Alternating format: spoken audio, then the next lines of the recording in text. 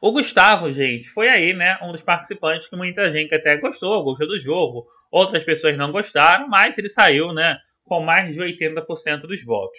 Durante, gente, a gravação do BBB 101 e a exibição na Globo, né, na, na edição do que foi mostrado ali para o público, o Gustavo teve um ato que está sendo considerado inadmissível para os fãs do Arthur Aguiar.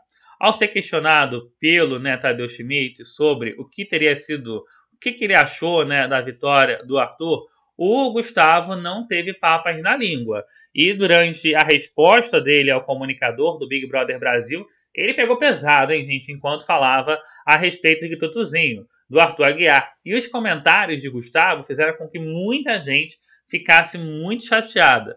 Olha só o que acabou rolando, né, diante disso tudo.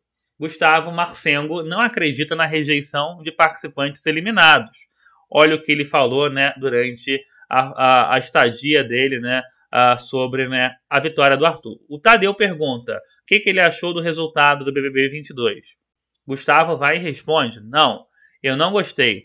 E aí ele continua dizendo: Até agora estou procurando né, os 81% de rejeição, além né, de falar que não entende como a Linda Quebrada foi eliminada do programa. Ele diz que vai na rua e que não entende como tem os 81% de rejeição. Ou seja, mais uma vez, ele dá a entender, né, gente, que a vitória do Arthur Aguiar, de repente, teria ali, né, um possível robô, um boot, né, como o pessoal gosta de dizer, para ajudar o Arthur Aguiar. O pessoal não consegue admitir, né, que ele foi o grande vencedor. Vai dando seu joinha, vai dando seu like. Olha só o que Gustavo disse, né, nesse momento, que está causando enorme repercussão nas redes sociais.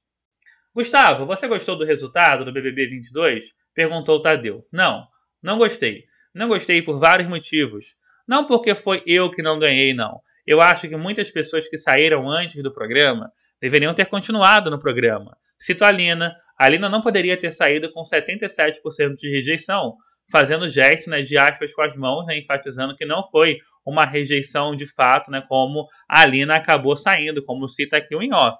Ele começa dizendo né, que não entende né, como o Arthur é, conseguiu vencer pessoas que ele considerava fortes, né, e cita aqui a própria Linda Quebrada. Mas ao mesmo tempo, eu já né, rebato o próprio Gustavo, né, e lembro a ele, gente, que a Linda Quebrada ela foi muito eliminada não só pela situação do Arthur Aguiar, mas porque ela teve o erro com os meninos lá da Disney, o PA, o Scooby o DG, quando deram a liderança para ela, né, e ela votou em um deles ela não esperou nenhuma semana. Então não tem só a ver com a padaria.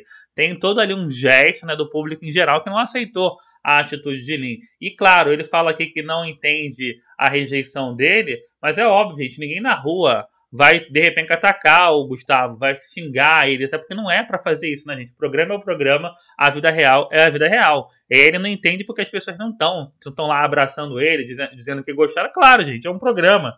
Todo mundo vai tratar bem os participantes e é para fazer isso. Olha só o que acontece na sequência.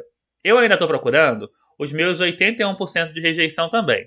Porque onde eu encontro, todo mundo elogia, fala que eu fui o cara que jogou melhor, que realmente entrou para jogar e jogou da melhor ativa.